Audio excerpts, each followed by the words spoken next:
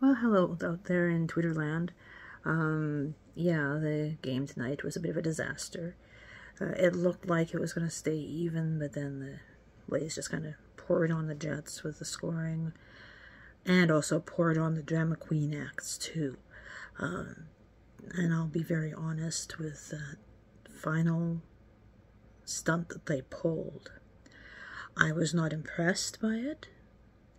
And I was even less impressed by the referee when our captain spoke up and said, hey, nobody was even near that guy when he fell. Um, what are you doing putting our guy in the box for? And they went and they kicked the captain out. I probably would have uh, got the penalty for the same thing if I'd have been in the game, because I would have argued the point too, and I would have been equally as diplomatic as our captain which leaves a lot of leeway because I know sometimes uh, both he and I can be a little bit too blunt at times. But in any case, um, there's uh, an autograph session thingy after the game, and I'm very pleased I got the autographs from the half dozen gentlemen that I was hoping to. I know with one of them there's uh, a different type of autograph I'd like to get from him, but not gonna get into any, not gonna get into that right now.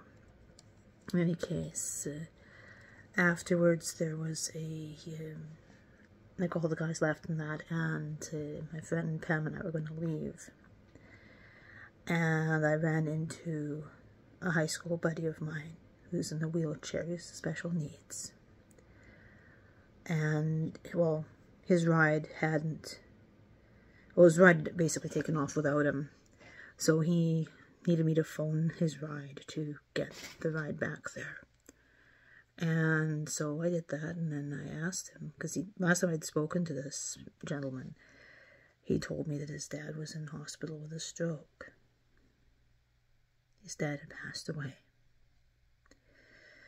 So that brought a whole new perspective on the evening for me because uh, he uh, he was blaming himself for his father's death.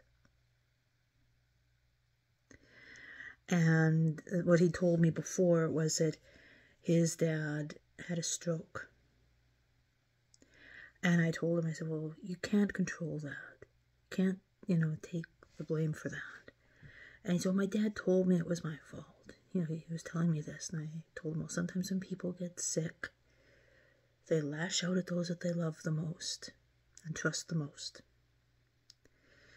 So just don't take those final few words he might have said to you personally because I'm sure that deep down he loved you. And he was going to well, I don't know if he loved me or not, this kind of thing. So then I said, well, did he remember your birthday? He said, Oh, yeah, yeah, he'd always wish me a happy birthday. And I said, Well, then, your dad did one thing better than mine ever did. So uh, he, he, he realized then that although maybe his dad didn't always see eye to eye with things, and his dad had other expectations for him, that he at least loved him enough to do that needless to say, he, after that deep discussion, I he, needed to get out. So, um, well, I drove straight back to my friend Pam's place. Her, her older sister and I are roommates. And so, like Cheryl always does driving after a hockey game, so I'm just like so tired afterwards. And I said, well, let's let's go to BP's for supper. Now I was thinking because the gentlemen had lost their game that none of them would be there. I figured that they'd all be, you know, at home, uh, you know, maybe playing Minecraft or Donkey Kong or something, like just taking it out on a video game or something, or maybe a punching bag, I don't know. And instead, we get there, and the restaurant is pretty much full. Yeah, the guys are there.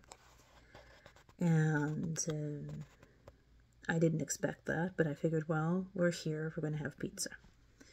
So we sat down, we had pizza. And I know uh, a certain gentleman there um, did a little patty cake show in front of me. He, he didn't shock me. I've seen you in less, so trust me, you didn't shock me, darling. You didn't shock me at all.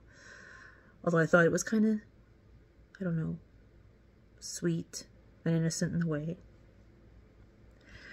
If my roommate heard me saying that, she'd be rolling her eyes, shaking her head, and saying, What the heck are you saying that for?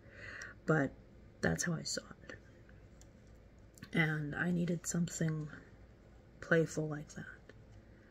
After having this discussion with this guy I'd known since high school um, about having lost his father and, uh, and that sort of thing. So I needed that lightness, so thank you for that. I know you were probably trying to be cheeky, pun intended, um, but I needed that tonight. I really did. Best of luck in your next games that you have. I know uh, it'll be. here. I'll be honest, it'll be a miracle if you guys make it in the playoffs. But prove me wrong, please. For several reasons, least of all being I don't exactly do a lot outside of my grad studies and trying to run the farm and trying to get the house fixed up. I mean, there's so much on my plate right now, and uh, having your games on and being able to go to them is a good relief for me. This vlog went considerably longer than I expected it to tonight, but I'm okay with that. And as long as the right person is listening. That's all that matters. And if there's other people listening too, I'm okay with that as well. But uh, you know who you are. And to be honest, after I had that discussion with uh, this guy that I'd gone to school with, I could have done with a hug or something. But Cheryl's not much on hugging, and uh, Pam didn't know what to do about it. And if I tried hugging my cat, well, part of the reason why I was wearing the skirt tonight was because uh, my cats have been cutting up my legs badly. And uh, it's just too sore for me to even put anything on over the top of my knees. So I literally had a pair of bike shorts on underneath my skirt tonight. Yes, my legs are cold, very cold, every time I was going out to my vehicle. So, um, yeah. I just. Uh,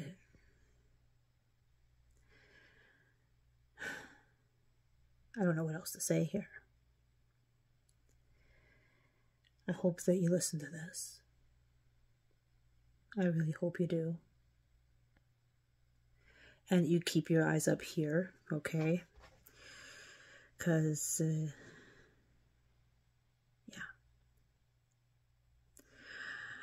In any case, I'm just going to upload the stuff from here and uh, put it on my computer and get everything off my cell phone so I can do another memory dump with it.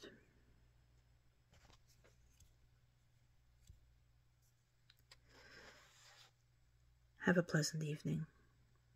Or pleasant morning, it's because it's early morning now. And if you feel like calling, you know how to pick up a phone.